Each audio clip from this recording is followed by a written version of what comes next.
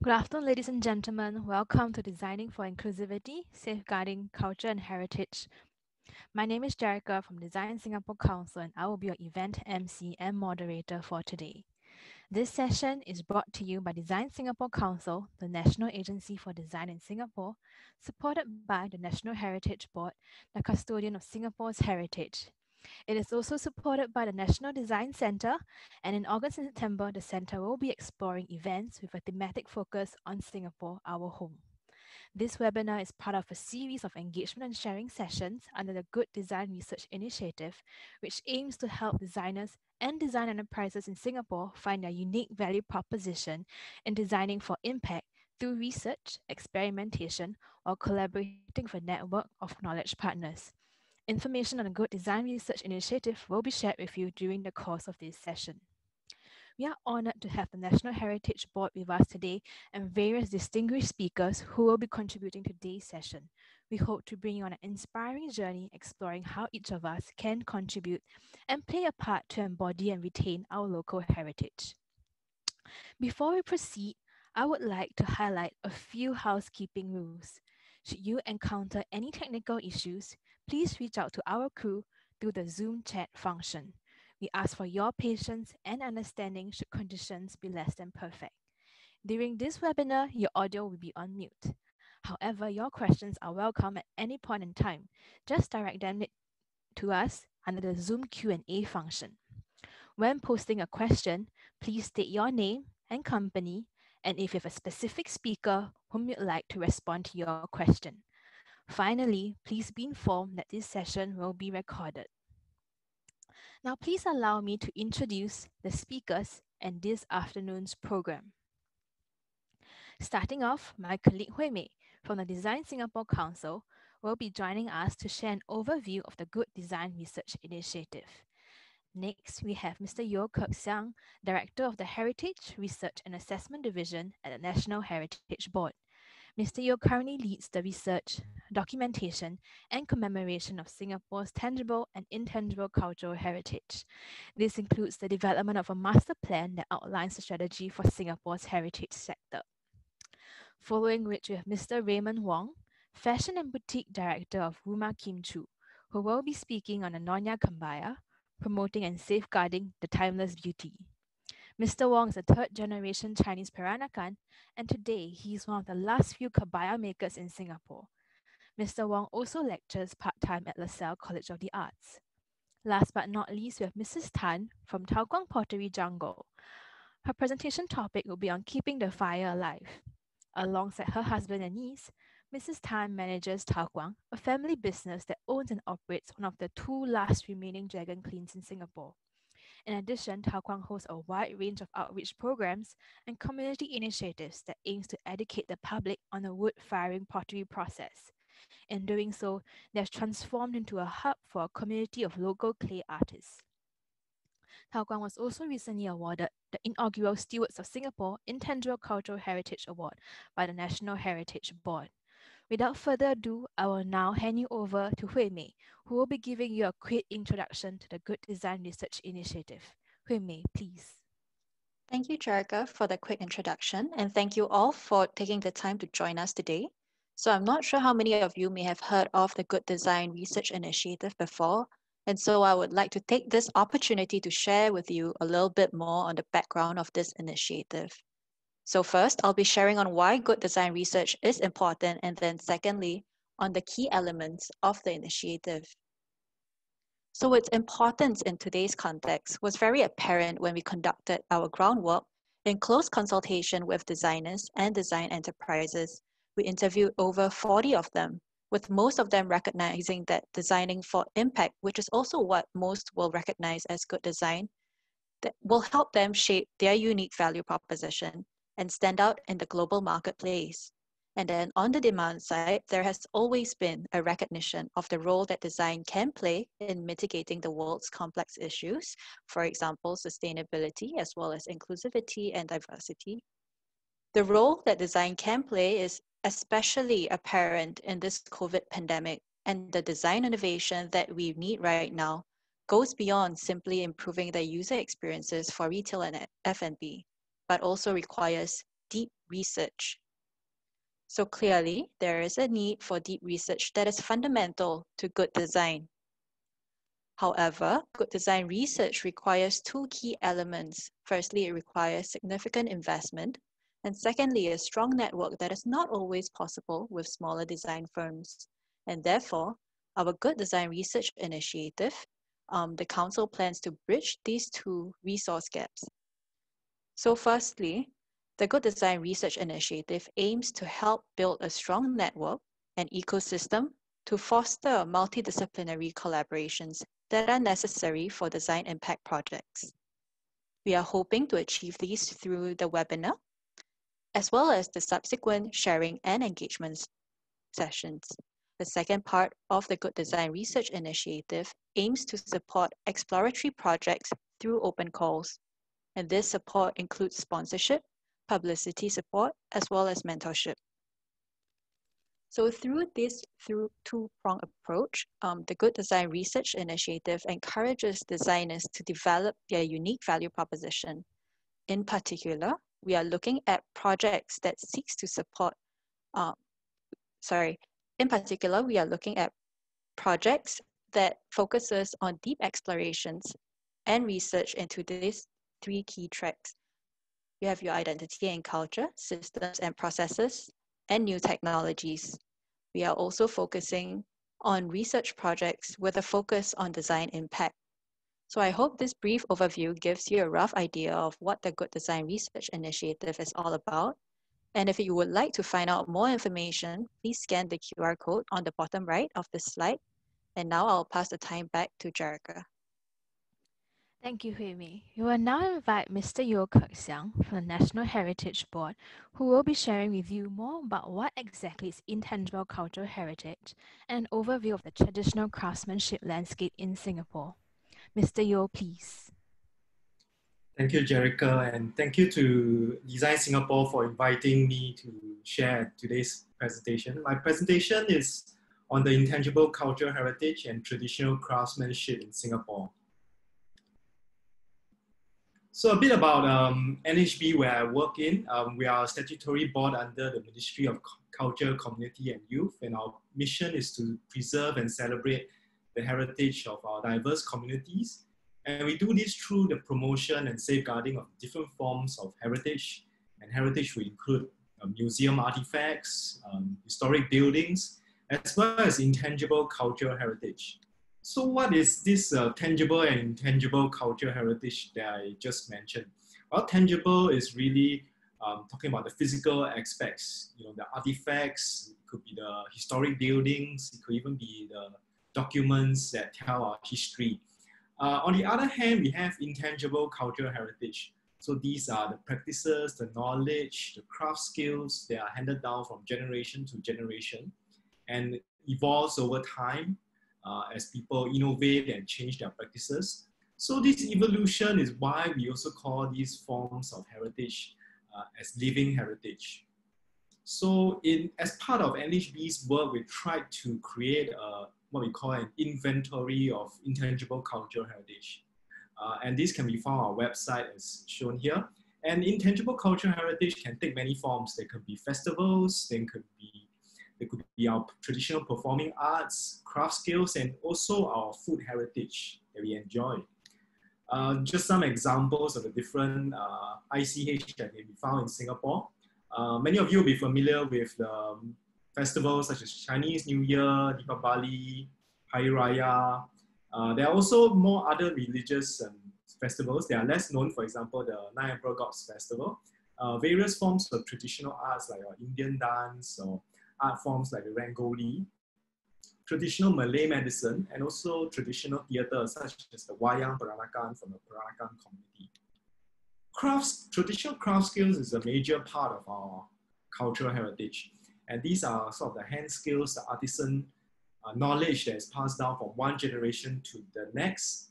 Uh, they are often a source of livelihoods for our practitioners because they, it's part of their business and it's also a reflection of the culture and creativity of the communities and individuals. So the pictures here show uh, Madam Lee, for example, repairing the rattan furniture, and Mr. Wong, who handmade this uh, Fuk Cho uh, traditional lanterns. And there are many more that traditional um, crafts that can still be found in Singapore, like the making of joss sticks, making of uh, traditional Indian gold jewelry, uh, cheongsam tailoring, kavadi making, and later on we also have uh, Mrs. Tan and Raymond sharing on their respective craft skills. Um, just some more examples to share and we should be go into, into depth a little bit more. Uh, for example, we have uh, ketupat weaving here in the slides. Uh, it's a form of traditional crafts because it's really associated with the Malay community in Singapore. Uh, and it's of course associated with the food that um, the, our Malay uh, uh counterparts uh, enjoy during Hari Raya.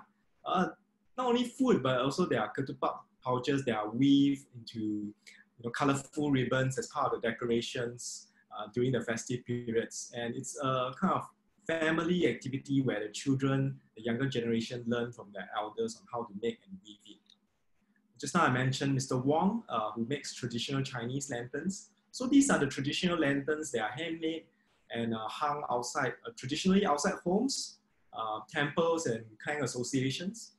Um, he has tried to innovate. I think traditional craftsmanship can also involve innovation. For example, he uses tin aluminum rods to produce uh, his traditional Chinese lanterns. And he also uses different dyes to show some, some of the more traditional uh, and auspicious characters, but also painting the lanterns with more contemporary motifs, such as orchids and even the SG50, we celebrated it a couple of years ago. Uh, another example is a Chinese signboard carving. Um, so contemporary signboards, which are manufactured, of course, is an evolution and traditionally these signboards are carved by hand. So could there be some kind of loss with um, replacement of machines? And I think this uh, practitioner, Mr. Yong, does feel that way that you know a signboard that's made by machine is not as beautiful and lacks um, texture and personality. So when we are trying to modernize um, our traditional crafts, I think it's also important that we see how this modernization and and contemporary design can value add to the process while retaining some of the essential essence and values that our traditional crafts contain. There are many challenges facing traditional crafts in Singapore. Uh, one is the economic sustainability of the trades. Um, there is kind of a general lack of the value that such uh, crafts can bring to the broader economy or even the spotlight on the livelihoods of practitioners.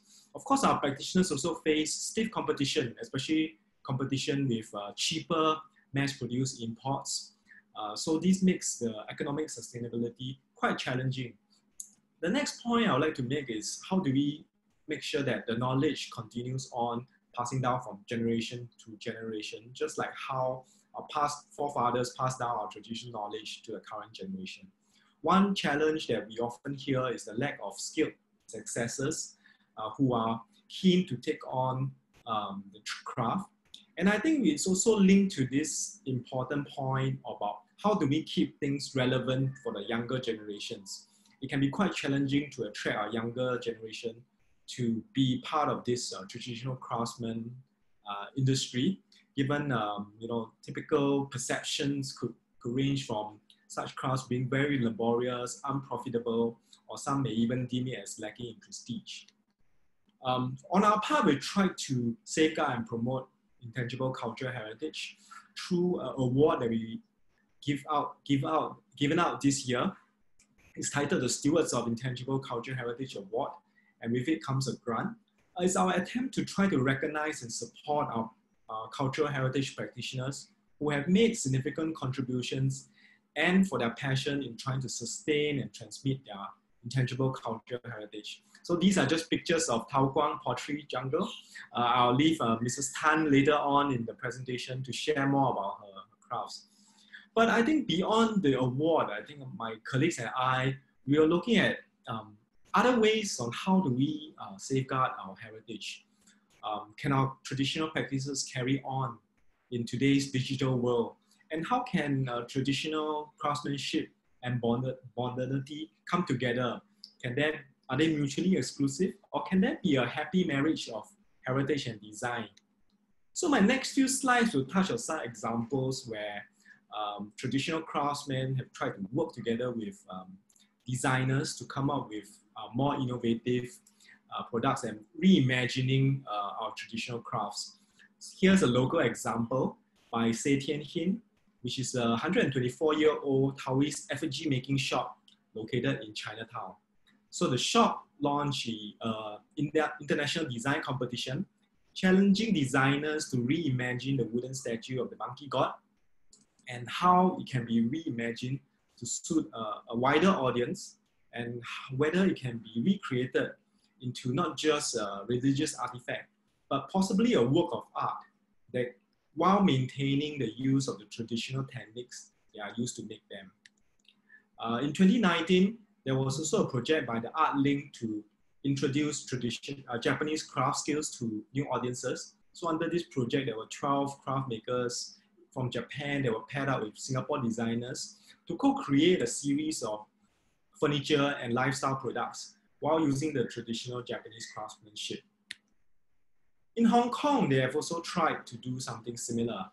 There is a non-profit organization in Hong Kong called Crafts on Peel, and they've tried to um, sort of match make traditional craftsmen with artists through an artisan in residence program. And this is coupled with an exhibition titled Crafts Interwoven, Past and Present. So under this program in Hong Kong, what they've done is to try to pair up contemporary artists with local traditional craftsmanship to explore how um, our traditional crafts can be reinterpreted into artistic um, rendering. Um, so, so here are some examples. Here's a picture of a console table that's handmade uh, using bamboo uh, without any glue or nails. And this design is actually inspired by the making of the traditional Chinese handcrafted bird cages. Uh, such bird cages used to be a common sight in Hong Kong tea houses of the past. Uh, still on the Hong Kong initiative, uh, is here's an example in the picture of a chandelier, and it's actually designed and made using a traditional bamboo steamer, which uh, many of you will be familiar when if you are eating dim sum. Um, so what they did is to get the traditional craftsmen to work on the bamboo, uh, to craft it. Uh, so the bamboo pieces are still uh, made, steamed, softened, carved using a traditional techniques. But of course here they are, they are not, they're using it to make a light piece.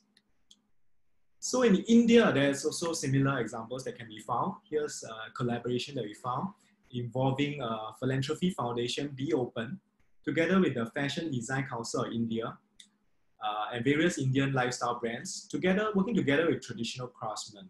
So they tried to co-create uh, traditional crafts um, and to exhibit as well as so sell off their products so that the this also provides a form of livelihood both for the designers as well as the traditional craftsmen who are involved in the process. So here are some uh, examples. Here, here's one from a lighting installation that's inspired by the local uh, traditional glass blowers from northern India. So the glass blowers uh, created this piece in the shape of a peacock, which also uh, closely associated with the India's heritage. So the feathers here, for example, are made using 48 uh, glass stems uh, created by the traditional glass blowers. Um, here's a collaboration between designers and the stone cutters from Tamil Nadu. So the stone cutters were, were brought in to produce uh, flooring strips from granite as well as table surfaces for the installation. So all these are handmade by the stonemasons using um, their um, paste grinding stones. I've just shared a few examples of um, you know the marriage of design with traditional crafts, but I think we also have to be mindful of there could be some potential sensitivities uh, between getting inspiration but um, on a more negative side, it could be accused of being a cultural appropriation uh, concept where it's highly uh, sensitive, especially in Western countries.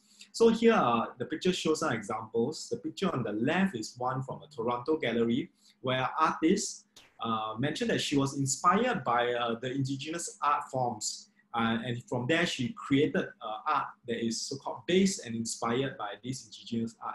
But I think it raises concern from the indigenous people there, and it was forced to cancel the, the art show because of it. And picture on the left is one of issue um, that is sometimes seen in the fashion scene. So here's an example where a London-based fashion label had to apologize to the Canadian descendants for uh, appropriating um, a design that was used in a traditional outfit and they had adapted it to a fashion runway design here. So I think it's important that um, we, when we are working with traditional craftsmen, we also have to find a way of, how do we uh, give the due recognition and respect for the traditional crafts and traditional heritage that is associated with it.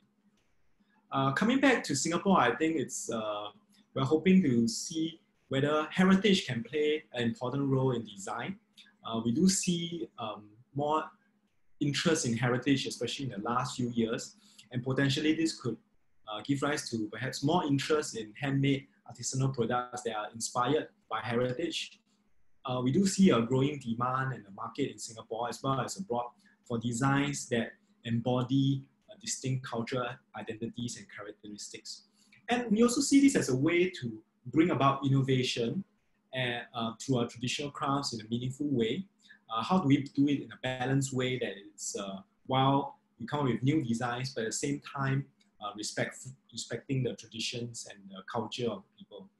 Uh, and of course, um, could there be designs that uh, inspire the, are inspired by our Singapore culture heritage? I think that's also quite meaningful as we um, find ways to preserve and safeguard our heritage. So at NHB, I think what we're trying to do is to run a small pilot. Uh, we're hoping to raise uh, public awareness and appreciation for our local craftsmen. One idea that we had was could we pair uh, just like the international examples we, I presented, could we pair traditional craft practitioners together with our designers to, for, for a partnership? Um, this could help um, our traditional crafts people uh, who are willing to innovate, but perhaps they don't know how to or, or don't have the networks to do so. And pairing them up with uh, designers who are willing to, to learn a bit about uh, traditional crafts and to find ways to incorporate it into newer designs. So this is still a very much a preliminary idea, but if you have any, any thoughts, uh, do feel free to contact my colleagues who I've mentioned in this uh, slide here.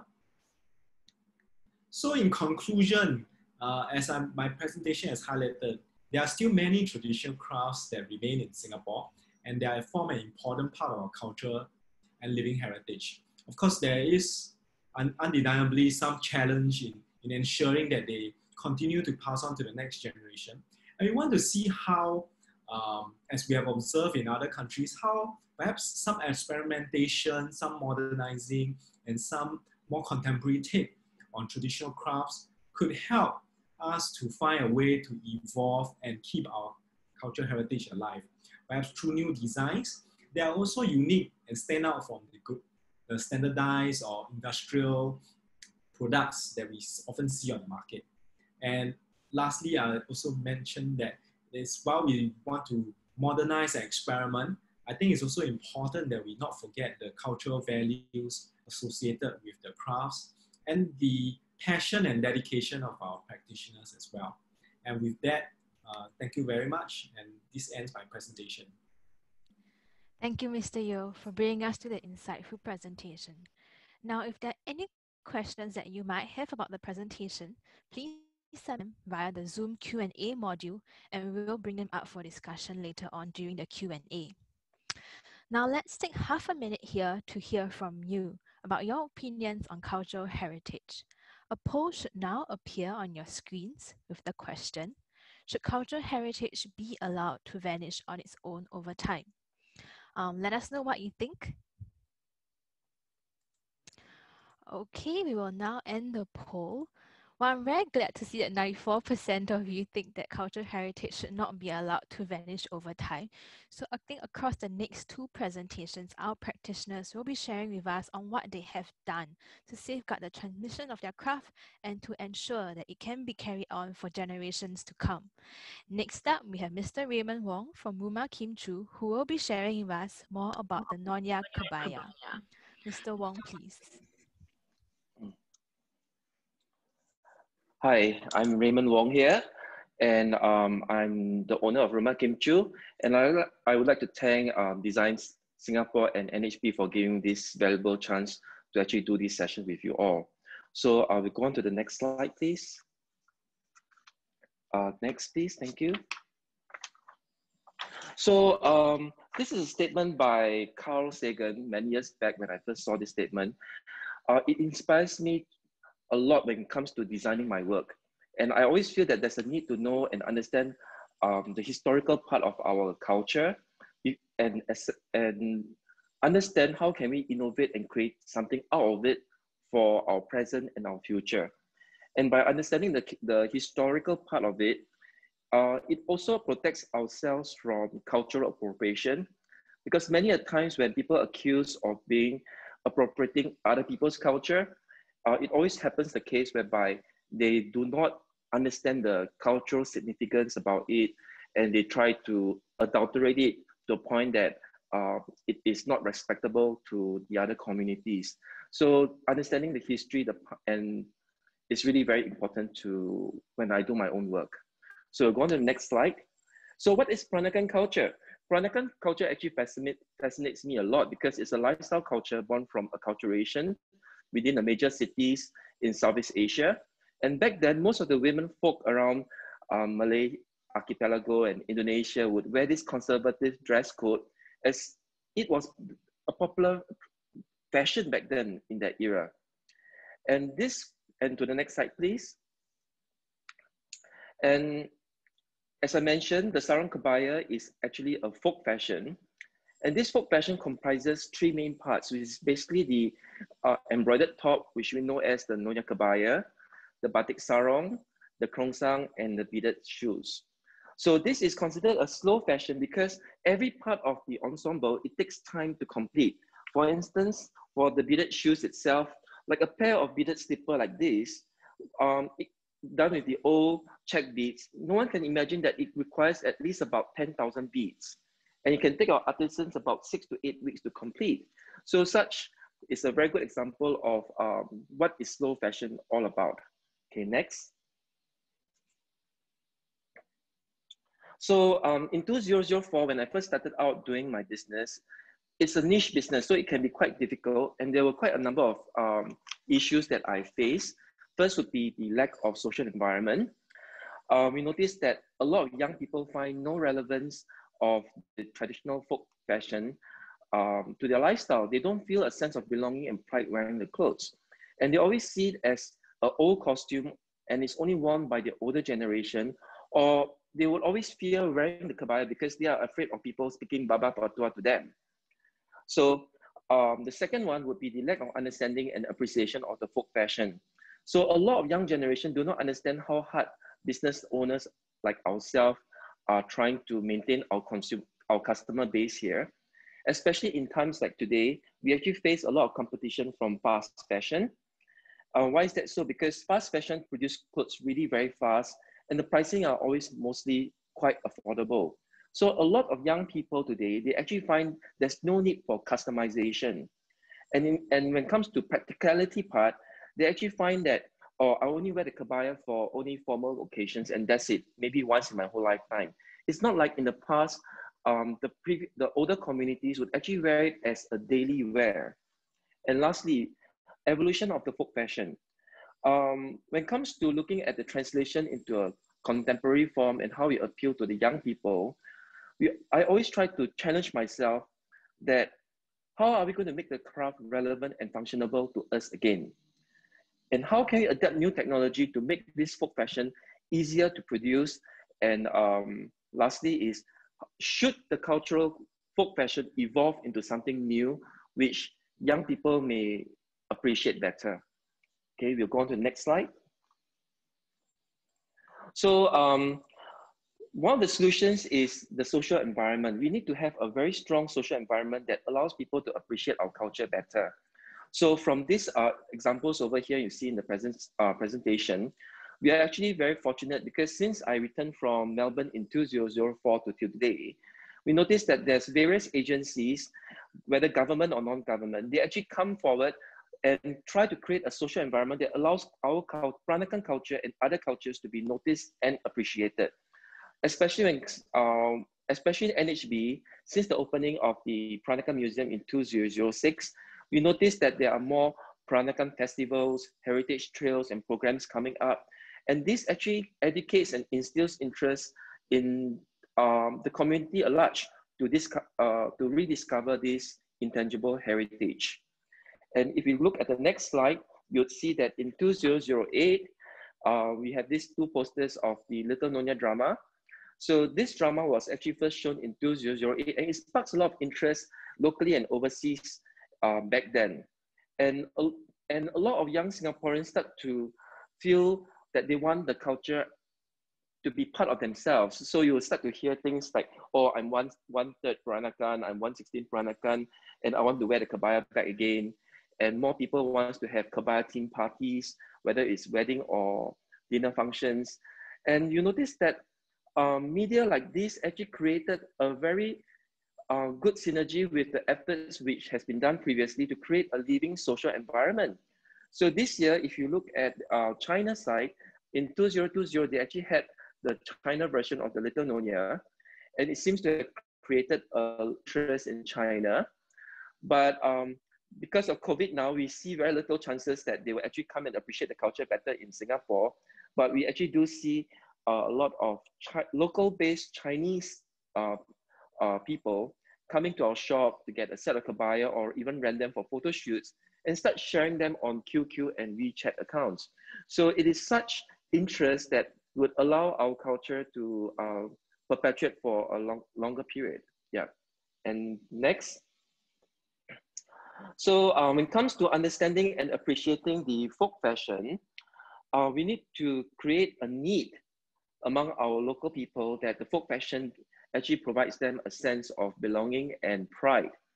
And such costumes are actually taking a lot of time and affection to produce. So it is very desirable to own them. And lastly, um, these items, if uh, are often more meaningful when they are passed down as heirloom with and memory. So, um, so how do we go about doing that? In our next slide, you'll see that um, nowadays we notice more and more people are using kebaya as a folk fashion because it's an evergreen costume. You can never go wrong wearing a traditional kebaya uh, that represents your country. And the Nyonya Kebaya itself, it represented Singapore's multiculturalism really very well. So you will also see that uh, it's often used in um, overseas um, events too.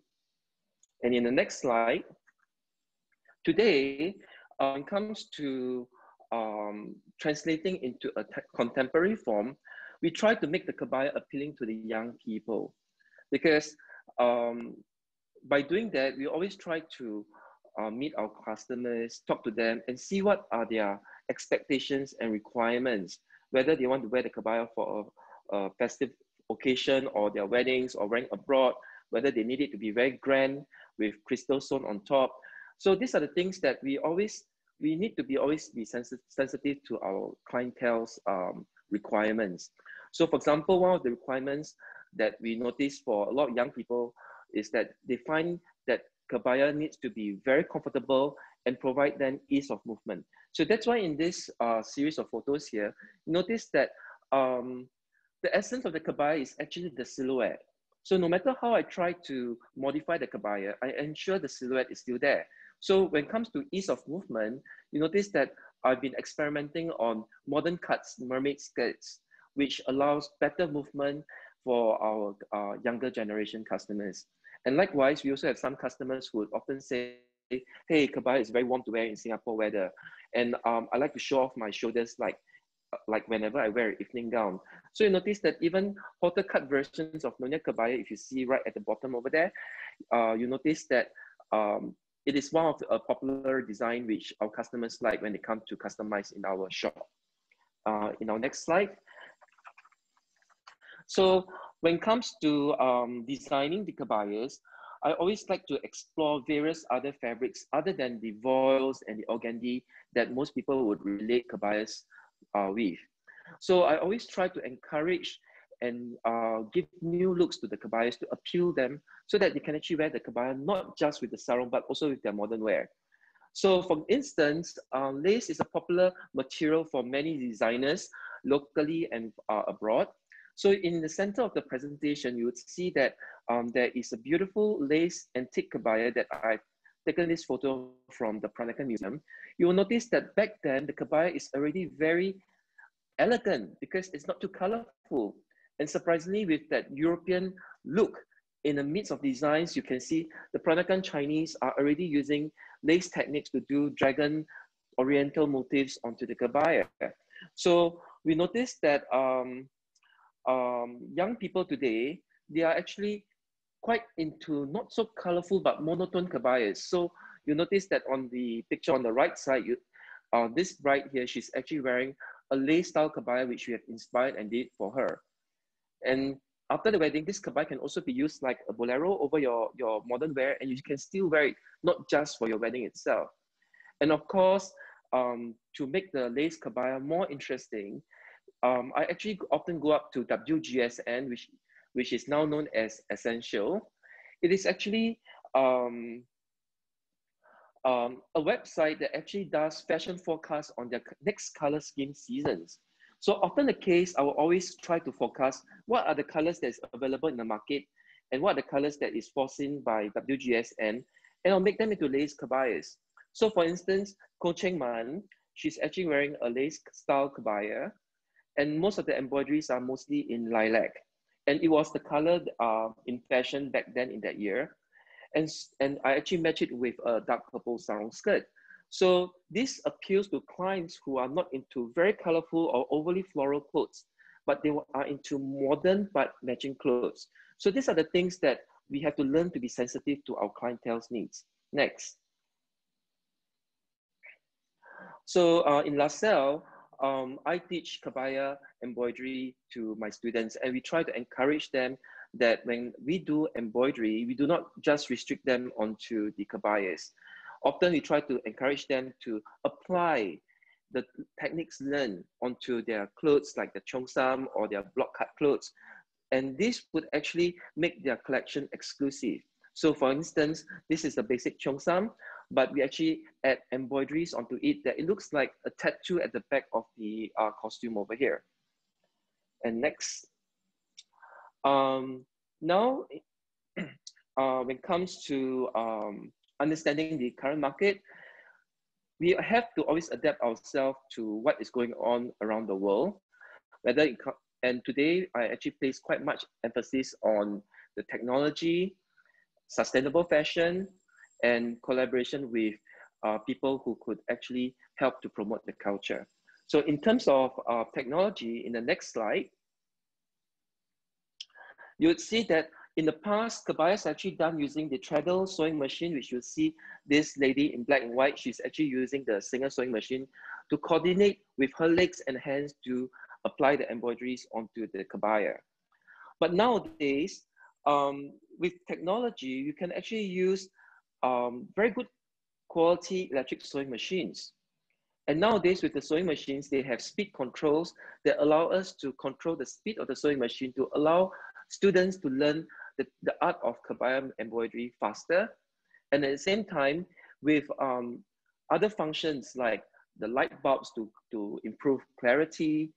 And we also have things like safety mechanisms that if, um, if the sewing machine is not properly engaged, the machine will not move, but alert the user that there is um, a safety breach, which is very important because we are in our today's world, we try to minimize um, uh, accidents, unnecessary accidents. And lastly, we can see that we have this machine over here, which is a computerized embroidery machine. This is something that um, my team are actually trying to experiment and see how can we use this in our current uh, kebaya making um, though we are still in the teething stage, but difficulties that we face would be things like um, to design an embroidery, it can take a long time. You really need experience on using the software. The machine itself is not difficult to use, but it is the designing of the software. And we noticed that um, there are very limited avenues for people like ourselves or even my students to actually explore or get people who have the knowledge to actually teach them on this area of machine embroidery, uh, embroidery using the computer. And next. So for better technology and giving our customers a better experience, we try to use apps like Photoshop or Procreate to aid us in the drawing and designing effectively. For, instance, uh, for instance, in this uh, slides here, you can see we are using our color wheel and we try to calibrate to the textile color as close as possible. And then we try to apply our design onto the cloth and draw our designs and match the thread colors based on what we have uh, intended for this design. And this would actually allow us to better appreciate whether the design is beautiful and it also manages the customer's uh, expectations better. Next.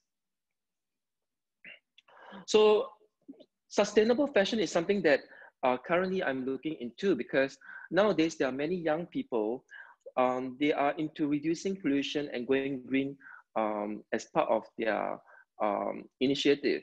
So to appeal to younger uh, generation uh, and being a environmentally responsible business, going sustainable is actually one of the avenues that we are actually going now. So in our next slide, I'm going to show you a piece of batik, which is a 2.5 meter batik.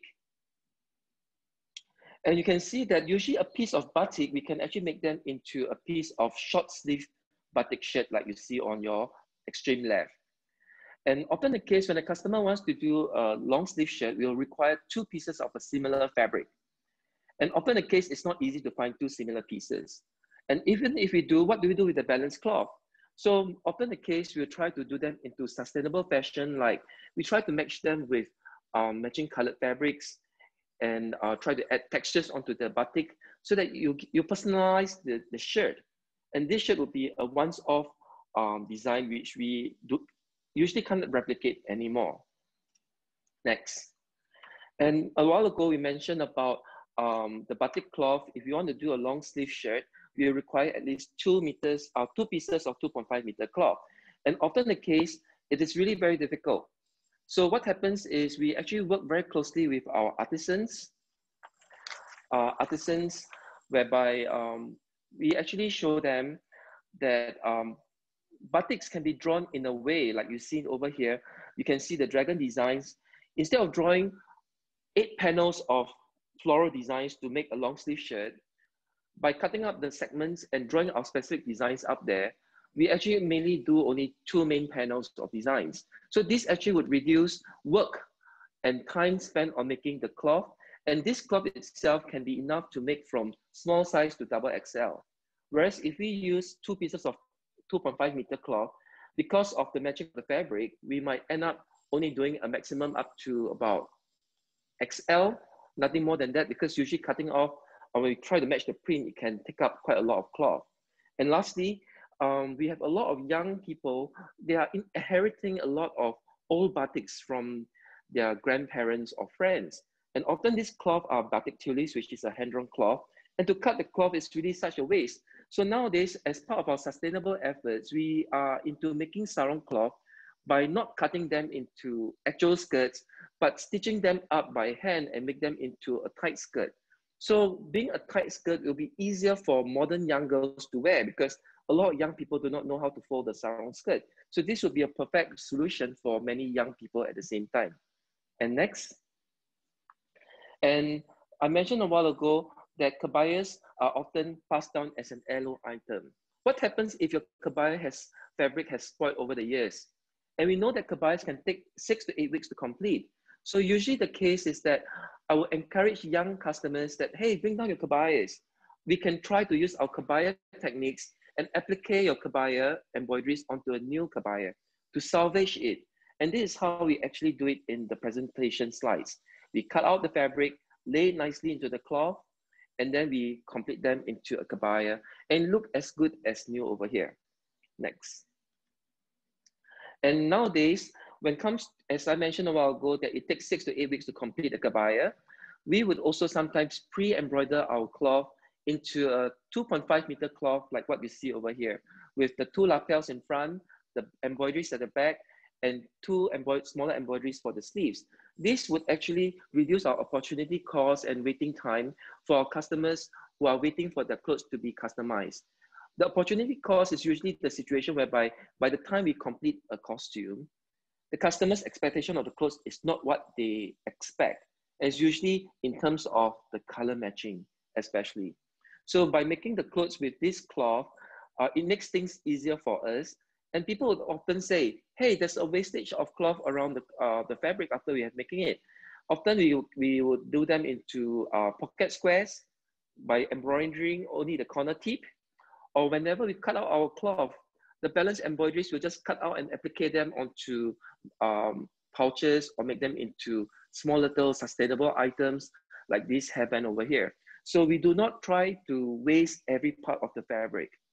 And next, in this slide, in times of COVID, um, business for us is also rather brisk and everybody is actually experiencing this same problem too. So it is also a time that we actually try to reorganize and re restructure ourselves because um, during the period, uh, we decided to do batik masks and there was a, a, demand for reusable masks back then. So just happened so that we were upcycling all our batik remnants and this cloth can be recycled or upcycled into masks. And surprisingly, as the time goes, we start to have more customized orders whereby people say that, hey, I want um, our mask with beadwork, our mask that matches with our costumes. And this becomes a market opportunity that our, our cultural arts is not just limited to the costume. It, it can be extended far beyond into lifestyle items. And in our next slide, um, when it comes to collaborations with designers and events companies, this is a platform that, as um, mentioned earlier by the previous speakers, we lack such platform. And this platform uh, actually allow us to have a greater exposure to, to promote our art further. So for example, um, you can see on your top right-hand corner, you can see uh, John Lee, he's wearing a shirt that Frederick Lee has made and designed for him. And the embroideries are actually uh, designed and done by us. So this goes to show that um, collaboration can be done to create something new and different especially the next one whereby I collaborated with a young designer, Aaron uh, Chua from Esquire Bespoke, where we actually try to combine a sustainable fashion of balanced batik cloth to make uh, men's jacket, to make it something different and unique. And of course, when it comes to events, uh, we try to um, uh, collaborate with people locally and overseas to get better exposure and experience to how to feature our our cultural costume out of Singapore.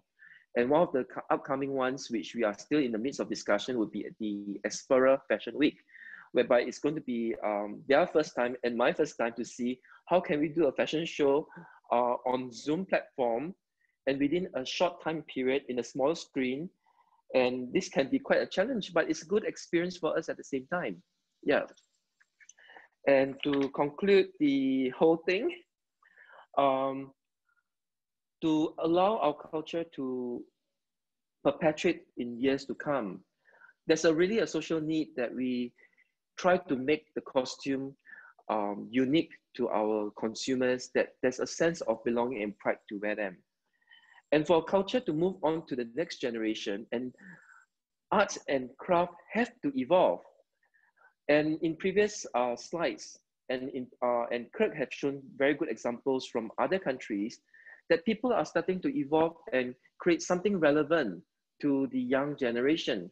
So we should think about how can we reinvent and make it appeal to the young people and make it relevant to them.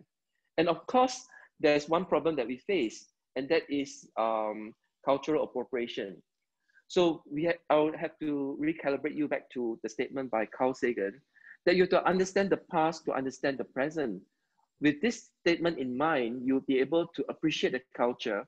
And when you create something new, you won't create something that is kitsch, that may offend people, and people can't accuse you of not respecting and culturally appropriating their culture.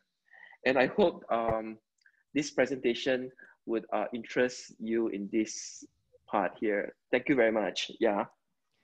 Thank you, Mr. Wong, for the sharing on the evolution of the Nonya Kebaya and the proactive steps that have been taken to ensure its relevance in the face of changing consumer preferences and even environmental trends such as sustainability.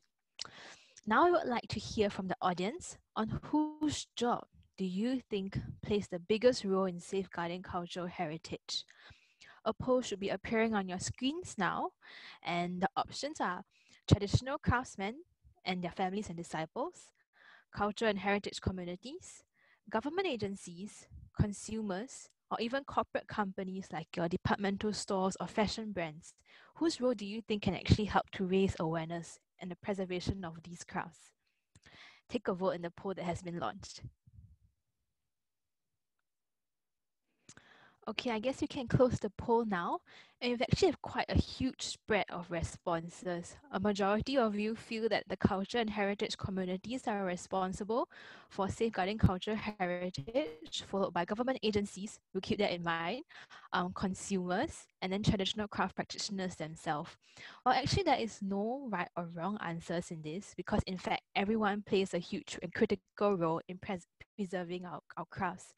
So next up, we will invite Mrs. Tan to come and share with us from about Thow Kwang Pottery Jungle and how they have worked with various stakeholders to ensure that Singapore's last surviving dragon kiln well continues to survive.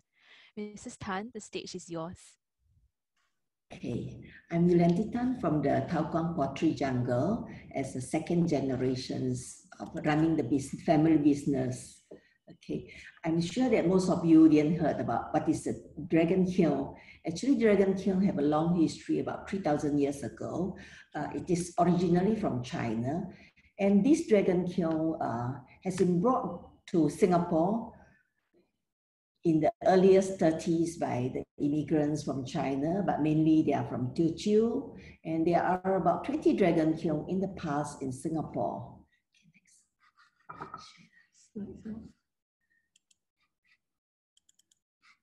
Okay, this is a front part of the dragon kiln.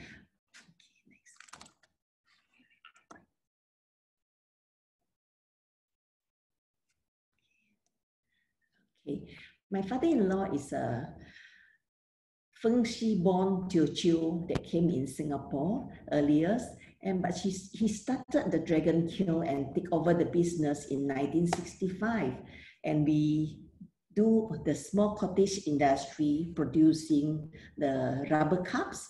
Rubber cup is something like this. It's something like this is a, for collecting the rubber set. And most of the dragon kiln in the past producing this kind of the rubber cups until about 70s that we have producing the orchid pots. And in the 70s, after the 70s that we have producing the local flavor, like the gift for tourists, uh, something like this, and all the gift and from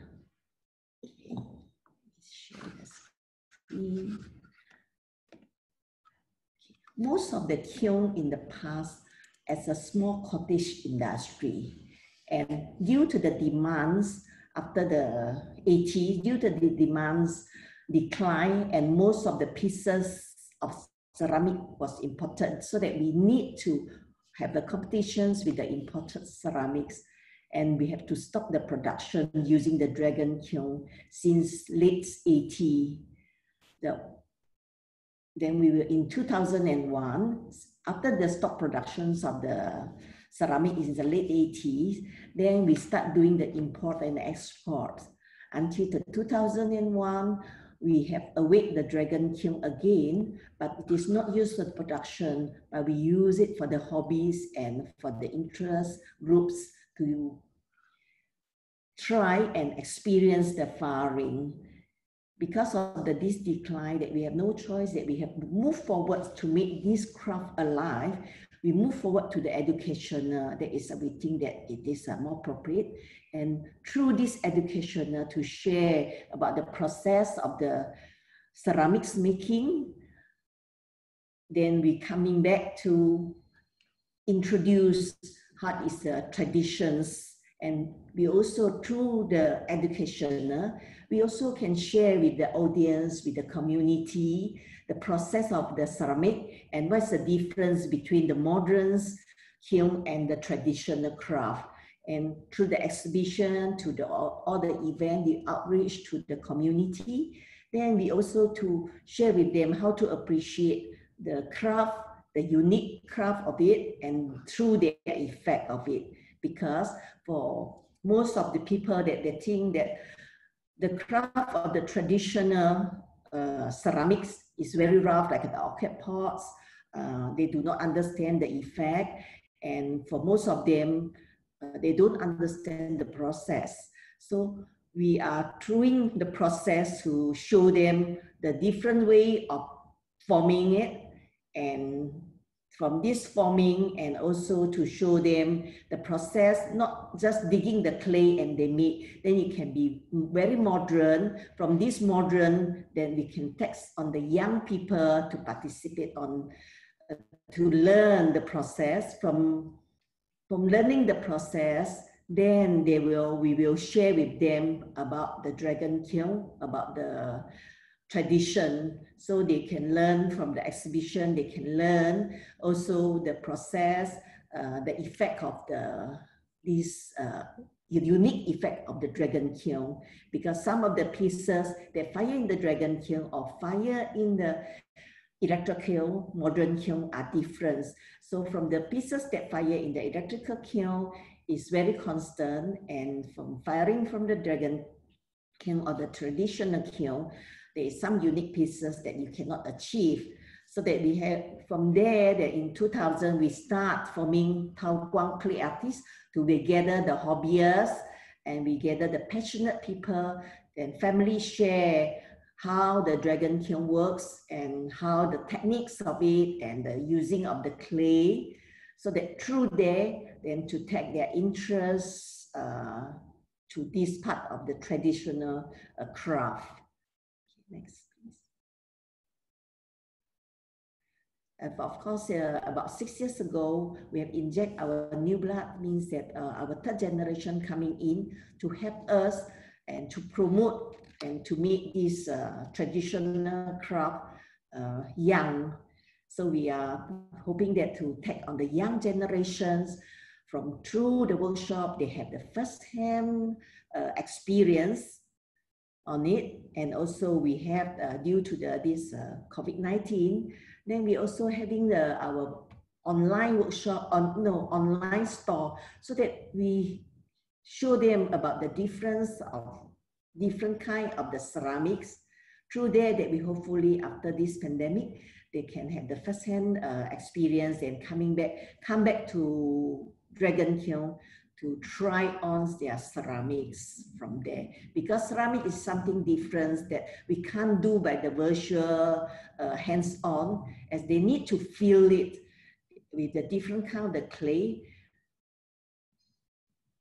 But we also we plan we also do with the our next plan we are also doing with our virtual uh, tour so that they can understand that how the dragon kiln work and how it is uh, how the whole dragon kiln, the, inside the dragon kiln and how the actually the dragon kiln works and the process of packing it. Uh, actually, the whole process is about the labor of love. Through experience, I think that uh, they will be more understand how to sustain and to safeguard this part of the heritage. This is packing of the kiln. This is inside the kiln. So every pieces of the artwork, you have to pack it uh, by hand, uh, manually. And every time it's different, uh, the effect of it. Let me show you the effect. This is, we keep the tradition so that we don't lose this tradition. We keep, uh, before the firing, we need to do the praying ceremony. And we will start from the firing box. This is how it will start. Then this is a side stock hole that uh, basically that this is inside the kiln uh, while they are firing. As we are doing the firing uh, these few years, uh, my group of the clay artists, we do some research so that we can have more records that to passing down to more people, more community that willing to learn and uh, to continue to keep this dragon kiln fire. It's after the firing, we have to unpack.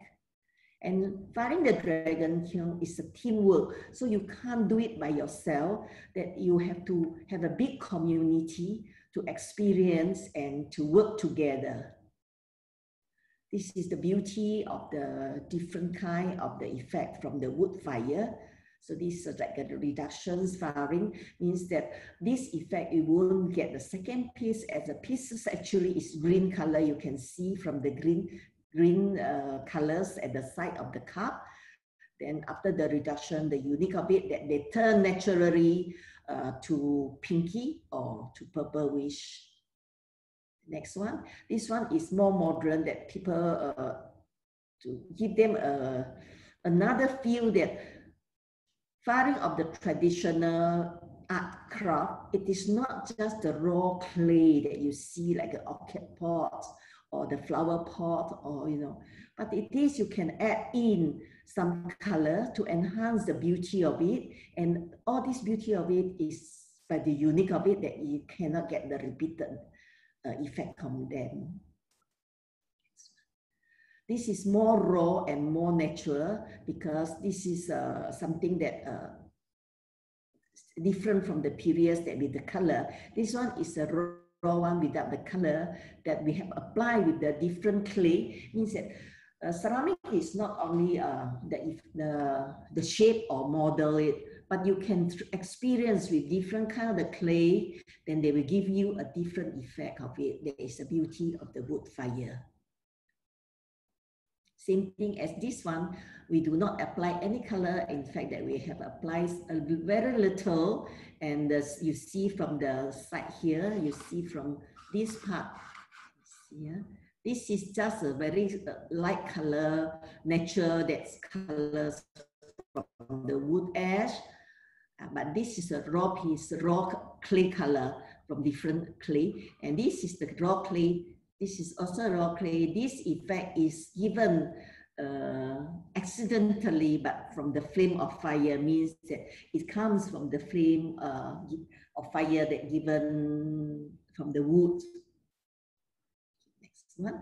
And this one we have add some glaze that to have more young flavor that maybe, you know, more young flavor that to it can be used for the table utensil, uh, not only the flower pot, you can have some of like pieces like uh, a cup that you can have.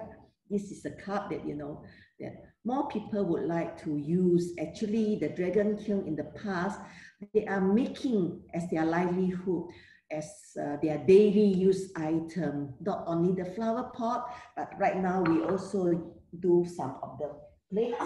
This is the wood firing plates that have different effect. This is also from the dragon kiln firing. And also you can do for the for this. This one is also from the wood firing. So that also another one, this is a flower uh, for the, uh, the vases from the flower arrangement. So it is very young looks for them, you see, but it is not a very vibrant color because the pieces from the dragon kiln firing or from the wood tradition firing, there's a unique pieces and they looks uh, everlasting. I mean, from my personal uh, opinion, uh, personal view of it, they are not uh, like very vibrant colors of it. And you, this, this is a piece that uh, we, we did it without any color, without any color applied, and it is from wood firing, and this effect is from the fire that is from the wood. There is a flashing. This is the bottom of it. You see, through, through this educational, through this process, through this knowledge, then we hope that to get the young, more young people and a young generation and to sustain also our tradition and they can be accept, uh, easier to, for them to accept it. So this is more traditions. This this picture is more tradition that is very raw and natural. So it's quite difficult. It's not that difficult, but I mean that uh, maybe some of them do not accept this uh, very tradition. That's why we have given through these six years, we are doing a lot of research and try to have more uh, different effect and more variety that can show that we fire in the dragon kiln, the effect, the, what is a unique effect from the dragon kiln. Okay, so from if we we are sharing this one, this part from that, but we have to share the process from the beginning, from the process, the education, then how the process of making, so they can understand the process. Through this process, they can understand the whole uh, forming it is have to be step by step. Through here, then we will move them forward to understand the traditional craft and the unique of it from the appreciation of these traditional craft that we hope that they, we can have uh, passing down to young and uh, young people and also to passing down the, this up of the dragon kiln firing to the next level and bring the awareness of the tradition wood firing to the local community of course, that hopefully from the virtual tour that we can have the space for our tradition and culture to local and foreigner. Uh, hopefully that we also can attract more tourists to Singapore. Thank you. Thank you, Mrs. Tan, for the sharing. I felt like I've just been brought through a journey into Thow Kwang's Dragon Kiln.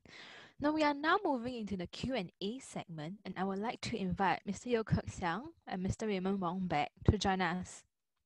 So I do see some questions that are coming in through the Q&A module.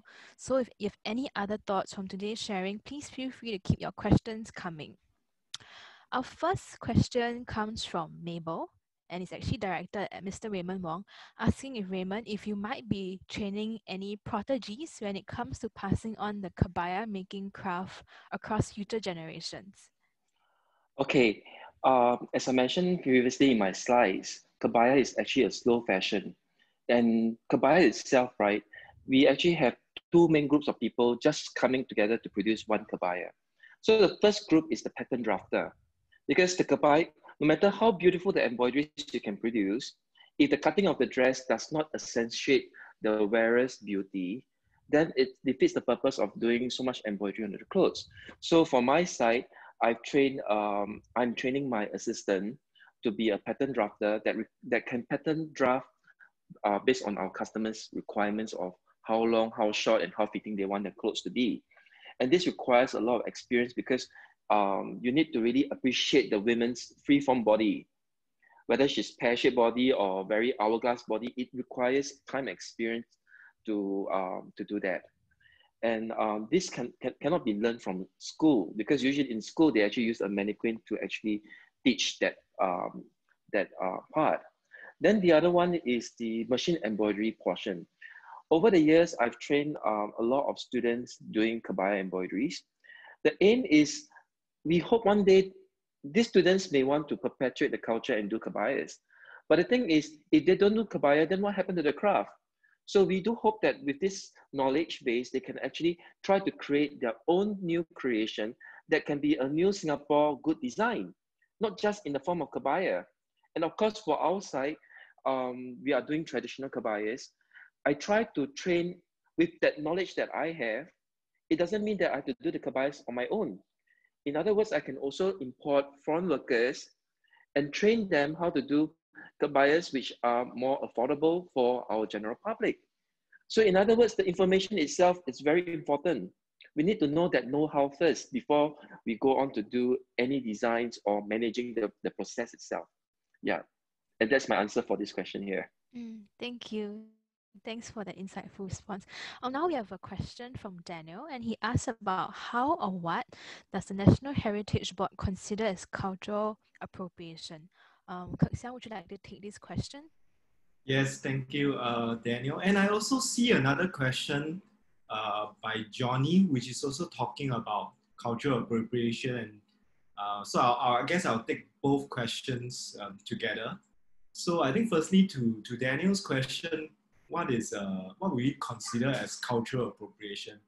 So I think at NHB we don't have a definition, but I think by and large, I think what people will, I think the, the, the perception of cultural appropriation is when one majority group, say a majority race, um, borrows uh, a culture which is could be the culture from the food, um, dressing, fashion, uh, or craft, and so-called borrows elements and uses it, borrows elements from a minority group and uses it without the consent of um, the group or individual. Uh, and that creates the perception that it's problematic because it's seen as um, a dominant group, you know, taking from a smaller minority group. Uh, and, and there's a lot of emotional response to, to some of these incidents. And I think the, the incident that Johnny mentioned about the food and the local case is, is very true. It created um, a, a, response, uh, emotional response from people, and understandably so because uh, culture is something very true and very deeply uh, entwined to our identity. I, I don't have a simple, straightforward answer how do we deal with it because the same case is viewed very differently from, from the lens of different people. Uh, so there was one case, I, I will use a, a case from America, uh, based, um, since we're on topic of fashion, right? So there was, I remember reading a case where a young uh, white American girl wore a cheongsam to her prom dinner. And that triggered, I think, of course, taking a lot of photos, put on social media, it triggered a lot of uh, negative response uh, especially from Asian Americans, were saying, "Hey, that's my culture. Why are you wearing it?" You know. But uh, then the same same same photos went to China, and they, a lot of people are saying, "Oh, it's good. It's like people actually appreciate our culture, not just uh, within us." So the same incident, because of your your own personal um, environment, can trigger very different responses. And I think the only way, I think, I guess one way to deal with it is how do you um, treat treat um, you know it with respect. Because at one point we don't want it to be very purist that oh this culture can only stay within this this this uh, you know this group. Like the kebaya I think is enjoyed by people from different ethnic groups uh, Singaporeans and non-Singaporeans. It would be a shame if we put this wall around our, our culture and say this is mine and and don't touch it. Um, but we need to do so respectfully uh, and you know listening, uh, thinking about you know how how how would it how would the minority group respond? Often, I guess, especially for for for, for majority groups, we we might not think so much about some of these issues, but I think we, we take a step back sometimes, especially we are looking at, at culture, design, and all that. We might need to take a step back and see how do we re- respectfully deal with it. How do we perhaps talk to someone uh, who was involved in the field or we, who understands the culture before we embark on some of these uh, efforts to try to change, modernize, uh, adapt designs, and so on. So that's uh, my take on the issue of cultural appropriation. Thank you. Thank you, Kirk Siang. Yes, indeed, culture is something that is very close to our hearts and perhaps might require some careful navigation. So our next question is actually for Mrs. Tan. Uh, Mrs. Tan, um, the question is about how do you work with or foresee working with modern practitioners like home-based potters or home-based designers? Mrs. Tan, would you like to take this question?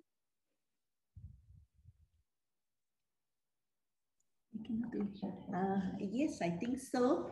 Uh, it's a good question. I think um, before um, I would say that uh, for those potters uh, in experience for the wood firing or the designer, I think it is the best way that they can experience with us uh, on our firing so they can experience the process and also that they can experience the material use before they design something because uh, clay, they have a lot of different type of the clay that you, it is not suitable for uh, type A, but it is suitable for design on the type B.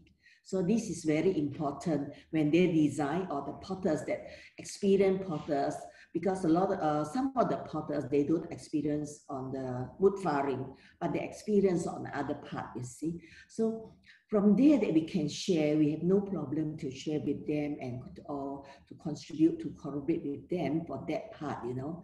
So I think it is the best that they can come and experience with us what is the firing so they can understand the effect of it.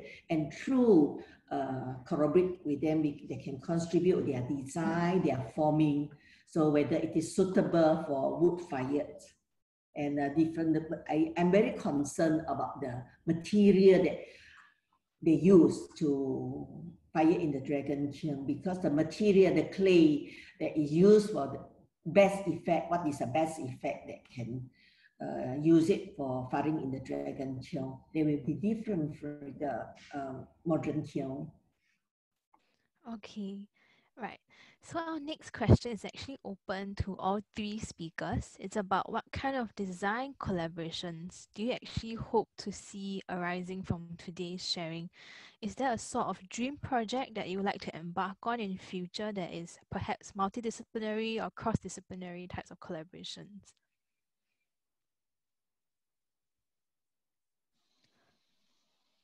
Mm, hi, I think I'll start first. um, personally, I feel that um, there's a lot of um, design collaborations that can be actually explored. Um, ever since the Guo Pei exhibition by NHB last year, it actually opened um, a lot of people's eyes, including myself, that cultural culture can inspire people and it can be beautiful.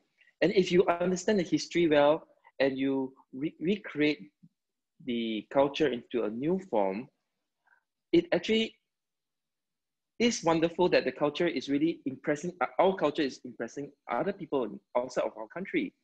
And this is the kind of collaboration I think um, young students needs to be exposed because they don't see the valuable um, ICH of our collection in the museum or in our culture itself. Yeah.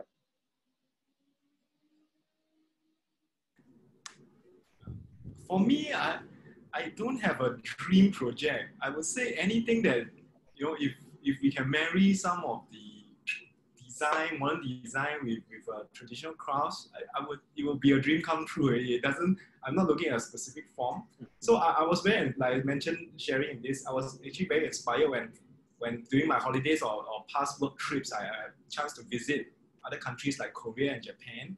I also saw uh, the, the civil servants there telling me you know, how they have tried to convert uh, and pair up the designers. So if we could do something similar uh, with, with some of our, our local craftsmen, that would be, a, I think, a good success for us. Thank you. Uh, I think it is uh, good for collaborations, like you know, uh, like what I agree with Siang that you have to uh, work together with it see, to come up with, uh, it's not the design, but it is the experience of it. Great, thank you for your response. Um, our next question is actually for Siang, and it's asking if the National Heritage Board is already working with craftsmen to translate this craft to a contemporary audience. I guess it's a bit similar to the previous question on collaborations. Yeah, yeah. Uh, I would say I think at the National Heritage Board, with a lot of our past efforts have been trying to see how we can offer a platform for our traditional practitioners, our craftsmen, um, to be uh, sort of um, to raise the awareness, general awareness level. So we, we do involve them in programming, in, for example, our, our annual um, Singapore Heritage Festival. But I think we honestly have not tried to do something like a really focusing on design. So I think this is some one area that I think we're trying to work towards. We, like I mentioned, we started off giving awards to try to recognize individuals. I think this is another area I think hopefully we will try to focus more attention uh, going forward. Yeah, so um, that's my short answer to this question. Thank you. Thank you. Um, we're coming near to the end of the Q&A session, so we'll be taking two more questions just to wrap things up. Um, our next question comes from Wendy. So Wendy is asking whether, um, it's open to all. So Wendy is asking whether you see any difference between craft knowledge for artistic expression or craft knowledge for industrial production. Uh, I'll, I'll take this answer since since um, you mentioned about Japan. I will give a Japanese example. Um, some, several years ago, I was in Japan. I, I, I happened to bump into this very interesting shop selling chopsticks. So then I, I noticed that the chopsticks cost a few hundred to a thousand over US dollars per pair. So I started looking at, you know, they had a storyboard talking about the history of the shop. So it used to be manufacturing chopsticks in, in large quantities. But of course, um, chopsticks uh, manufacturing is no longer uh, profitable to make by hand, right? Because it's like mass produced, industrial, uh, disposable kind of wear. So what the shop actually did was to go into creating more artisanal products. So like this, so so they, they talk about you know how, how how they create more literally paint artwork on the chopsticks, the lacquer, the quality. So those are still made by hand.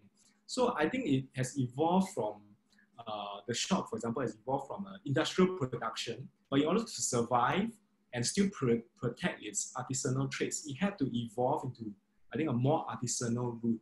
So I wouldn't say they are mutually exclusive, but I will use a term like evolving, like this is living heritage. So it evolves with the times, and, and, and somebody probably in their shop decided to innovate, reach out to a new audience in order to stay alive, and they have um, created that. I think many examples in Singapore also. I think maybe Mrs. Tan, you want to share a bit also? I mean, you were involved in production of pottery, right? But now also looking at a lot of these artisanal products. Yes, yes. So I unmute first.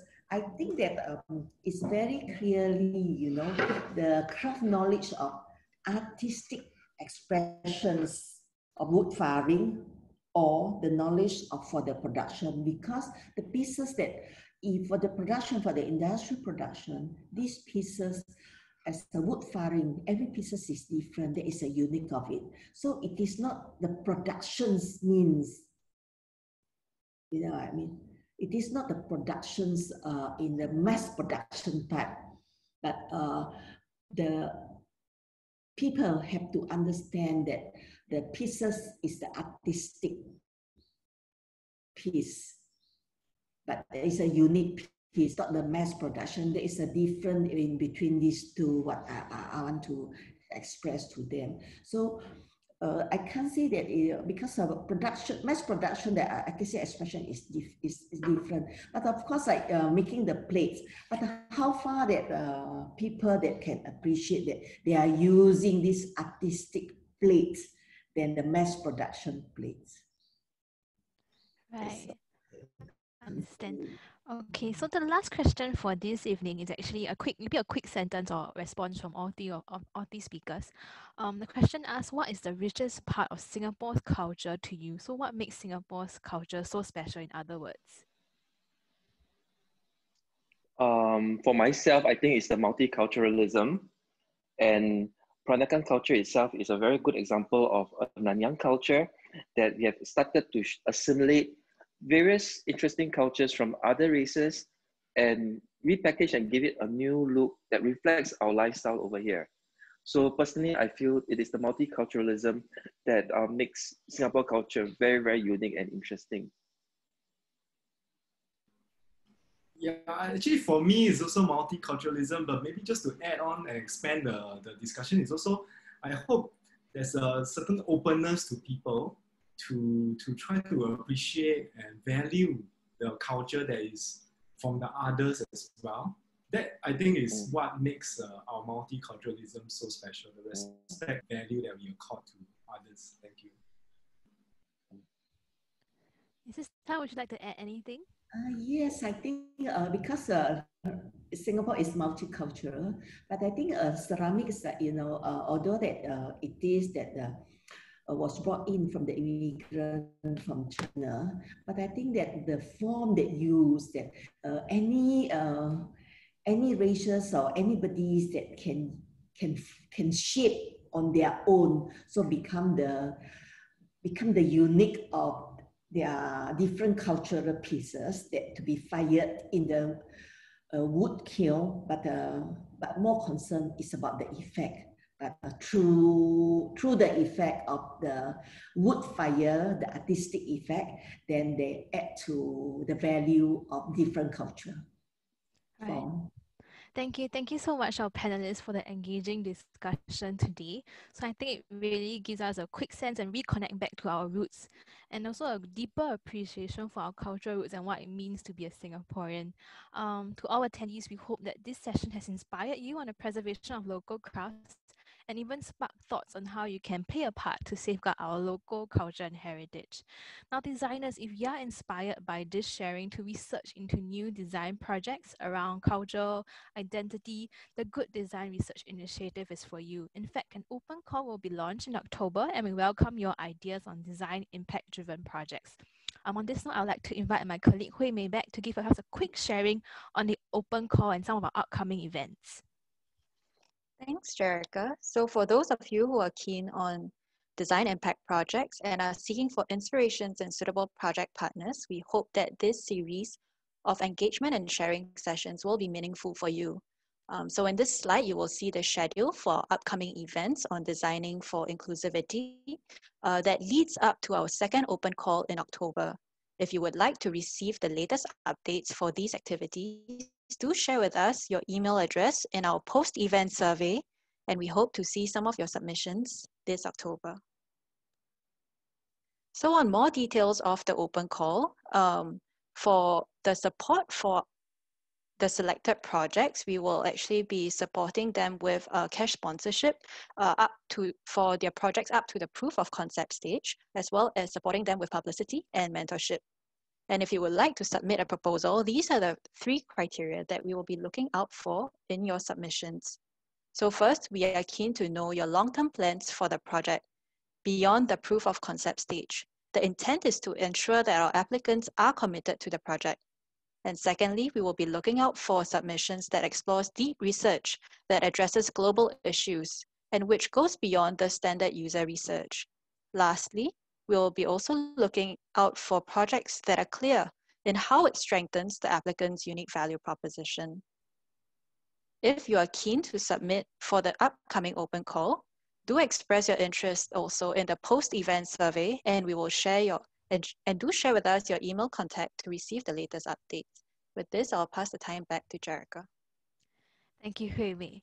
Now, attendees, I hope you have enjoyed today's webinar. Should you wish to revisit today's discussion, a summary of the keynotes will be shared with you via email, along with the relevant links on how you can reach out and find out more about our various speakers. On the screen now will be two QR codes. Um, the leftmost one will be a quick post um, event survey, and we'd like to hear more about your feedback. The post-event survey can also be found um, in the Zoom chat and if you'd like to find out more programs that the National Design Centre has lined up under the theme of Singapore Our Home, you can scan the QR code that's on the right. Um, please join me also in thanking our speakers, Kirk Siang, Raymond, and Mrs. Tan today for the wonderful sharing. And to all attendees, we hope that you have found the session inspiring and meaningful. We hope to see you soon at the next event and even your submissions under the Good Design Research Open Call. Thank you.